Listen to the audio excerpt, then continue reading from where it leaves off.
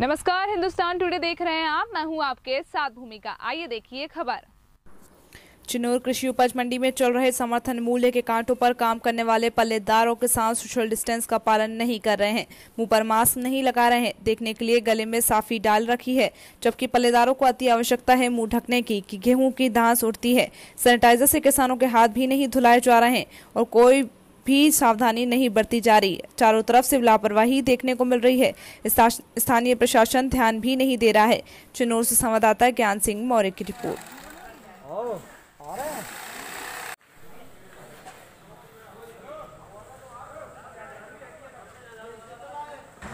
मैं आपका? मनीष पारा सर नाम मेरा। मैं खरीदी परवारी साइड वहाँ पर हूँ।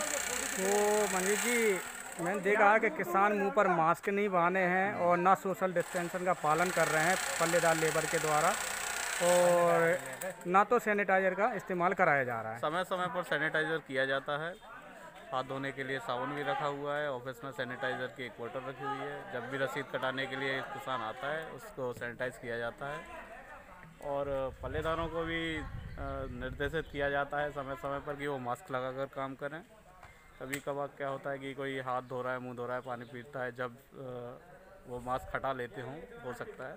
लेकिन हमारे द्वारा उनको बराबर कहा जा रहा है कि भाई मास्क लगाकर काम करें। और शासन द्वारा बीड़ी तम्बाकू गुटखा पर प्रतिबंध कर दिया। है एक हज़ार रुपये का जुर्माना फिर भी आपके समय तनमूल पर गुटखा शराब खाने वाले देखे जा रहे हैं। अब ये तो सर मार्केट में कहाँ से आ रहा है ये अपन नहीं उसको कह सकते। ये तो मार्केट में रोकना होगा कि कहाँ से कैसे आ रहा है।